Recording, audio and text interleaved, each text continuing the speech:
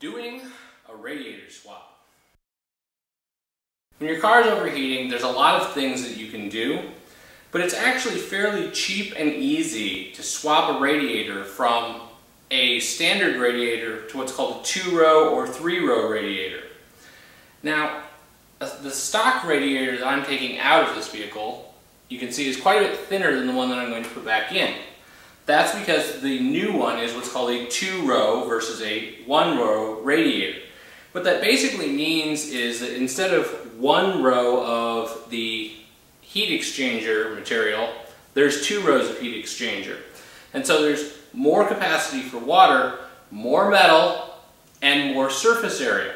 It's that surface area that is probably the most important thing because what you're doing is increasing the amount of metal that there is for the air to touch as the fan pulls the air through. This is going to drastically reduce the temperature of your, uh, of your car, assuming that you are having troubles with overheating. If your car is running fine, there's no reason to do this upgrade. However, if you have a leak in your radiator or any other kind of radiator problems and you're going to have to do a swap anyway, I recommend going to a two-row. There's talk about whether two rows or three rows are better, Three rows are in fact more surface area, but a lot of the holes are smaller, so they're more prone to failure. Whereas with the two row, the holes are basically the same size as the one, so the water still percolates through just as well.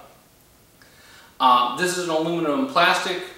There are some that are all aluminum, which would be slightly better. Um, for the most part, the plastic parts can actually be better if you're not having heat issues because the plastic parts don't wear or slowly start to oxidize.